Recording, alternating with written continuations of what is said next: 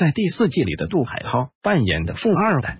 是电视台的广告赞助商，曾小贤因为囊中羞涩，只能只能包下桌球店。根据杜老板描述，他们家很大，前后左右就连厕所外面都是高尔夫球场。这种炫富方式真的是新颖。林婉瑜作为第一季里的名副其实富二代，首先她是林氏集团的千金小姐，世上唯一一款珍贵的钻石，只是她爹的收藏品。在与杂志编辑进行深刻讨论，说的也是头头是道。这种无形炫富，一看就知道是在富家长大的千金。第二季里的钻石王老五理查德随手就送雨墨一颗大钻石戒指，结果雨墨弄丢了，而理查德不仅没有责怪他，而是又送了一颗更大的钻石戒指。对于建功遇众人时，他也送出各种真的钻石饰品。钻石对女性的伤害是无限的。第四季，李胡一菲的相亲对象来到公寓，想约一菲吃饭，结果被曾小贤碰个正着。这个比利也是个土豪，不但把餐馆买了下来，还特意请法国厨师来餐馆做菜给一菲吃，还趁花多少钱都值得。